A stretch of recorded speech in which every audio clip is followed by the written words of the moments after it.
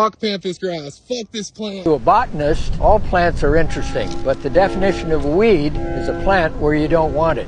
This is an example of how invasive this jubata grass is. Now, these jubata are aggressive enough that their seed can take root in the most inhospitable places and even thrive. Of course, each one of these plumes uh, makes uh, thousands of seeds. I would remove it as soon as possible.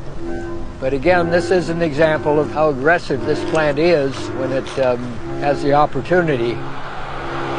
All this invasive bullshit next to the ocean. Infestation is so thick and so large that mechanical tools can't deal with them.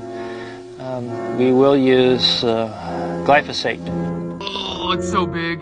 This is so sharp too. Apparently, it can- oh, it is hella sharp.